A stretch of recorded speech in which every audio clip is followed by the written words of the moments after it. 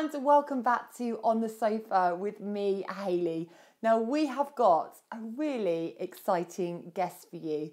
Now, unfortunately, he couldn't come into the studio due to the circumstances. However, we did manage to get him on Skype just for you. Uh, now, I'll give you a little clue. He was in the film Coyote Ugly. Uh, he also played John Travolta in Saturday Night Fever in the West End and also Fiyero in Wicked. Oh, yes, it's Adam Garcia. Adam, thank you so much. It's so good to have you on the show. Thank you very much for having me. Oh, now I think most of us remember you from Coyote Ugly. Um, for me, it's just one of those go-to films when I'm having a bad day, like today under these circumstances. Um, I just love the film, and what I want to know is that scene when you're on the bar. Did you just kind of like improvise that, or was it choreographed? it was choreographed. Oh, was it? yeah, no, we choreographed it. Yeah, because um, that's the magic of movies is they right. have to know all the lighting guys, the camera guys, the director. Yeah. They all need to know where you're going to be going so you can capture it. So the choreographer uh, and I uh, put it together in about a day. It didn't take wow.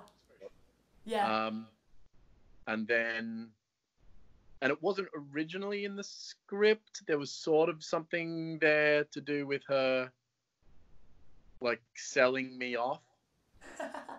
but um, but there was never sort of a routine per se. Um, yeah. But obviously, Jerry Bruckheimer and the director David McNally knew that I was a dancer, so yeah, absolutely. They were like, "Go on then, God. To exploit your talents." So yeah, it really came in handy, and uh, yeah, as I said, it wasn't in the wasn't in the original script that he could. Wow. You know, would be willing to move, but he was, you know, it wasn't. It's not a like a super dancer's dance. It's like yeah. some guy who's willing to get up there and move like. But Kevin. I have seen you in Tap Dogs and um, I used to go tap dancing, Adam. Grade four, I think I got up to, but nothing like I know, nothing like you doing tap dogs. Um, I mean, I do go around Tesco's, still tap dancing today. Uh, but you guys it's, it's are so in sync. playing music. Do they play music in Tesco's? No, they don't play music in Tesco's. I know, but I've still got the habit of doing like my time steps and my wings. That's a good habit. Hey, look, you learned something. But yeah, you guys in Tap Dogs, I just feel like if one of you went out of sync, it would go completely off. Was it really hard to stick together? Um, yes. Yeah. Uh, and that was part of the uh, the the whole sort of choreography. Dein Perry, who choreographed it. Yeah. A lot of the a lot of it wasn't in four four, as in the time signature one two three four. Yeah. A lot of it was like seven eight, five eight, five twelve. Oh. It's you gonna know, be a headache already. Yeah, I can imagine. Twenty-one counts every twenty-one. You know, so there was lots of different um, time signatures, and they would change. But all, obviously in sync, there was also a lot of a cappella stuff. So, yeah. uh, and that was up to I played the foreman, uh, and the foreman's job is to drive the tempo and keep the the metronome going. So it was my sort of job to pull everyone in line and Right, it's got to be a hard sport, hasn't it? It's, it's, it's pretty hard work. People think, oh, dancing, you know, but it's like playing rugby or something, isn't it? It was an it was an 85 minute sprint. Wow, God. Pretty much from. I mean, the foreman actually got more breaks than the anyone else, but yeah, I think we were eating. I think we were blowing out sort of three and a half thousand calories per show. Wow.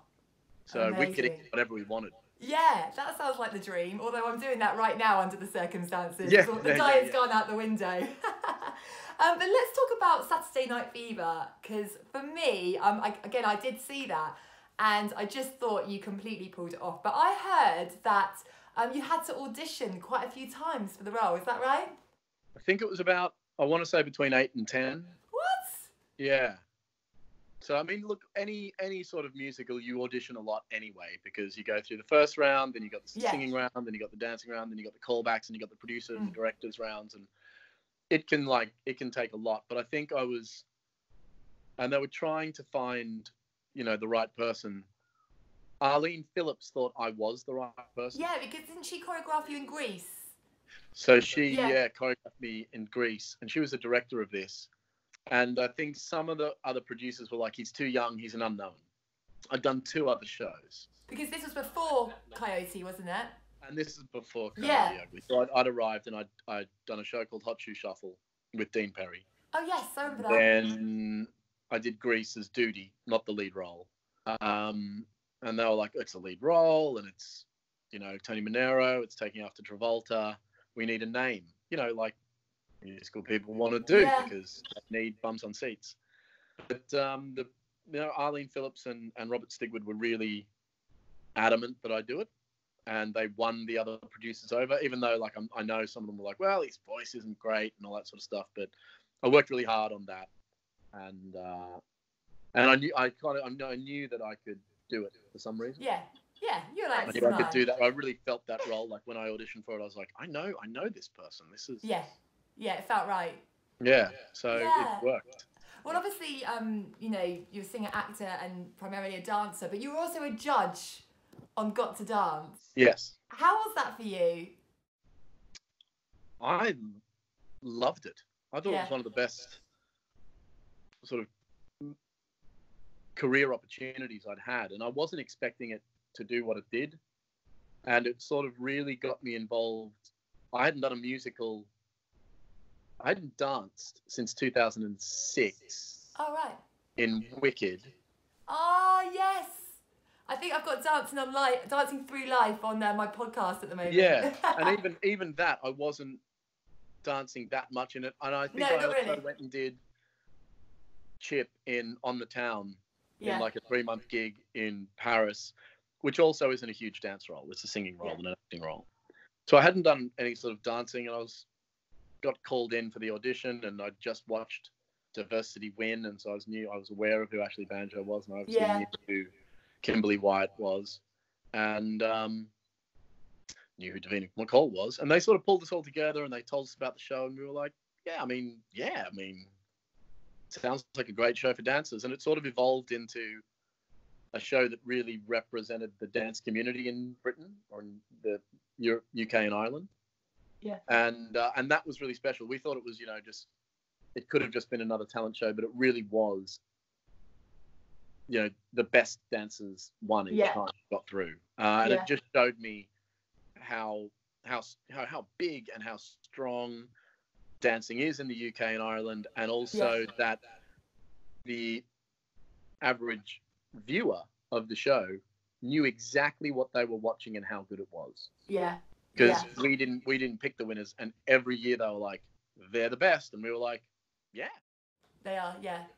I mean, a lot of the people that go on uh, the program are more sort of street. Do you think there should be more sort of like tap dancers? We should be like promoting that more. well i mean it's the, look it's things come come and go and and street's been around for 20 no 40 years Yeah. since the 80s so it's you know it's a pretty established thing and it's got so many different um branches to its sort of tree uh and people love it and a lot of boys uh want to do it because it's Yeah, so physical and athletic and it's got a gymnastics in it yeah, it's also what's predominantly with popular music and hip hop and R&B. It's what people look at. Whereas tap dancing is still very popular because I teach all around the country and yeah, lots of people do it. But it isn't so much like it, it had its heyday really when the, the 50s musicals, yeah, 40s, 50s, 60s, oh, 30s, 40s, 50s, 60s, 40s, 30s, 40s, 50s, let's say that Mm. um, where where popular music was big band, bandstand, yeah, and it makes sense to tap dance to those sort of things. Jazz. You can. I mean, I love dancing to hip hop and R and B and all that sort of stuff. So maybe there'll be a, it'll turn around. But um, yeah. Absolutely, because when you started out, um, I think you started like about seven or eight, didn't you?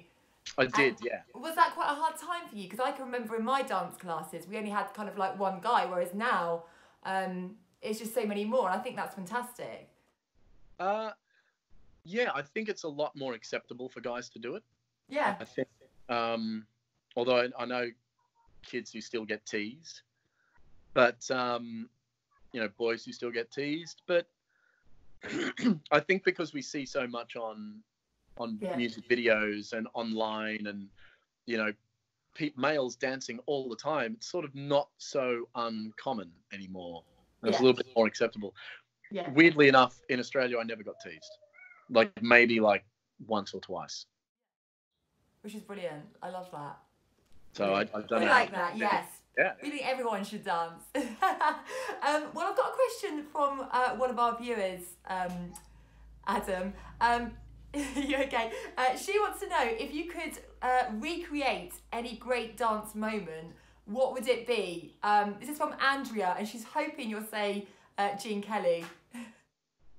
Yeah, I'd like to. I've done Gene Kelly a couple of times. Yeah. I'd still like to do more because you know it, it, he's it's very difficult. he's really good. I think I'd really actually like to. I'd love to do Gene, but I think. I mean, if I could do the Nicholas Brothers routines, like Stormy yeah. Weather and yeah. Down Argentine Way, if I mean if I had the flexibility and the the sheer unbelievable talent, yeah. I think I'd like to do that, but I don't think I can do the half splits. We'll hold you jumping, to that. Then. Jumping over someone, I'd, um, and Fred. I mean, some of Fred's tap routines are just staggeringly good. Yeah, yeah. Well, I'm going to go and do a little bit of uh, time steps in my dining room under the circumstances. But um, thank you so much uh, for joining us, Adam. We really appreciate it, and uh, good luck with everything. Thank you very much for having. Thank you so much. Bye. Oh, we've now come to the end of On the Sofa with Hayley. Thank you so much for tuning in, and I really do appreciate all your support. In fact, I would love to hear from you. Details are on the screen below. Let's see what guests we can get for next time, and uh, do keep you posted on what you think of the show. Now, I want to say a big thank you to my guests uh, Terry Dwyer, Molly Hocking, Kim Mazel, and of course, Adam Garcia. I'm Hayley Palmer, and I will definitely see you next time. Stay safe.